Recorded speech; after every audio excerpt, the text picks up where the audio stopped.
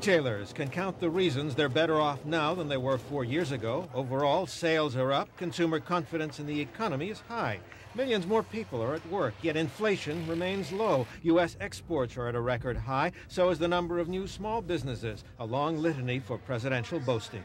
It is a fact that we have 10.5 million more jobs, the lowest unemployment rate in seven and a half years, almost 4.5 million new homeowners, the deficit going down for all four years of an administration for the first time since before the Civil War in the 1840s. We have the worst economy in a century. We have the slowest growth, about 2.5%. On the downside, though, incomes have barely begun to inch higher four years after a recession. Corporations have cut tens of thousands of white collar and middle management jobs. Low skilled workers are in a permanent rut, and all this has been fodder for Bob Dole's campaign themes. Both candidates claiming the route to improve the economy is balancing the federal budget and eliminating the deficit. But there's an essential difference. In the Dole scheme of things, it doesn't matter just how much you reduce the deficit, it matters how you do it too. And the way that Clinton chose, which was largely a tax increase on upper income taxpayers, is anathema to most Republicans and businessmen and investors. After spending much of his Senate career as a deficit hawk and an ardent balanced budget advocate, candidate Dole staged a political reversal, saying he wanted to stimulate more robust economic growth. Dole called for a universal 15% income tax cut and other tax breaks that would cost the U.S. Treasury a half trillion dollars. I don't want to see us blow a big hole in the deficit with a tax program we can't pay for.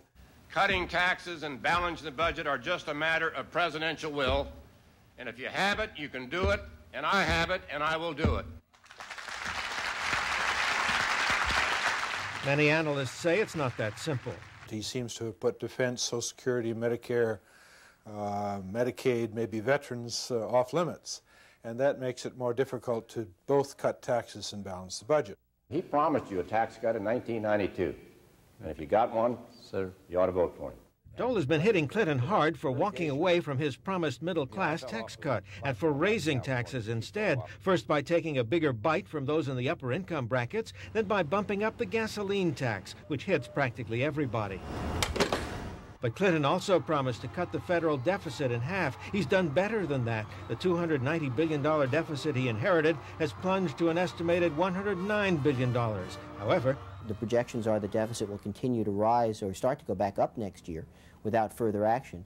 So while Clinton hasn't prom promised very much on the deficit, he's going to have to deal with it if he gets elected no matter what happens. Nevertheless, Bill Clinton has resurrected his family tax cut of four years ago, adding a promised $1,500 credit for two years of higher education and elimination of the capital gains tax for all homeowners. The price tag, $100 billion.